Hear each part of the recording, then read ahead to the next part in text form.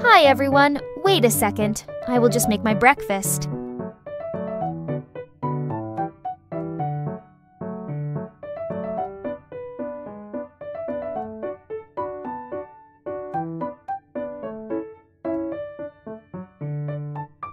Now, let's wait for it to cook.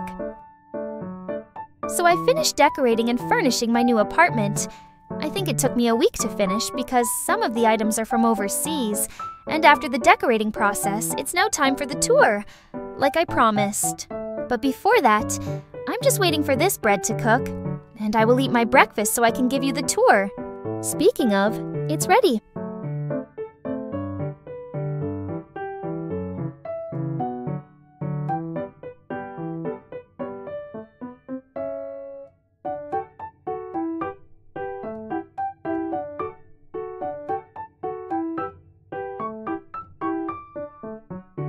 Let's eat everyone.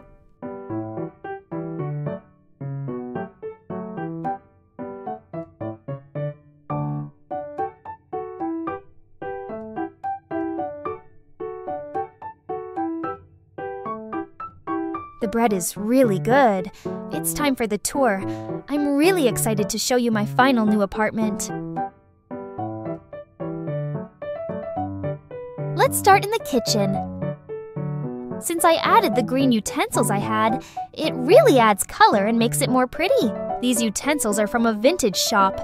And here's my chopping area. This side of the kitchen is still pretty empty, especially the top area. I have no idea what to put in there, so this is for now. Here's my pantry now, fully restocked as you can see.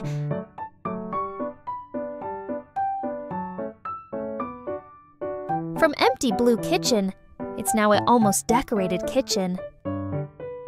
Next, my dining table. I only have three chairs, with this vintage flower painting. And this table I saw at the thrift store, and it matches the color of my kitchen counter so perfect. Let's head to my living room. You can see right away the perfect green couch. Not the typical couch color I pick, but the color is so pretty. I just added this white, yellow, and pink pillows, and it matches the green couch. Also, this vintage chairs that is so pretty, and a side table and another vintage painting, and this TV area with the two plants to both sides of it, and a clock.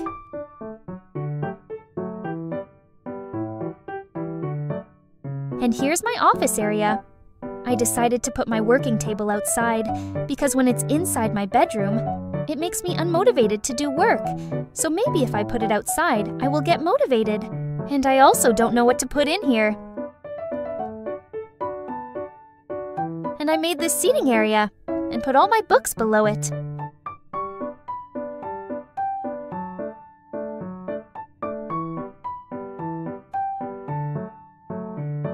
Just perfect space to do work and read books with this view. And my favorite room, my bedroom. Right away you can smell the vibes of cottage core. I have two side tables and a clothes rack to hang my dresses. Look at this gorgeous painting that goes well with my comforters. And the same plant I have in my living room. And this side is the cabinet and my vanity area. Put my vanity area in front of this big window, but it feels like not right for it to be there. So I just put it here on this side, and it's so perfect. And for the last room, the bathroom, I don't put anything here beside these two plants and my hygiene products. It's just right not to put a lot here. So that's the tour, and I want to know your thoughts in the comment if you are still watching this video. After all the craziness that happened, I'm finally settled into my new apartment and really starting to love it.